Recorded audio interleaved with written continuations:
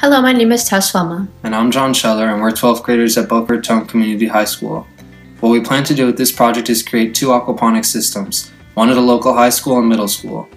Aquaponics is a sustainable way of aquaculture where vegetables and fish are grown simultaneously in the same system, however, there is no soil involved.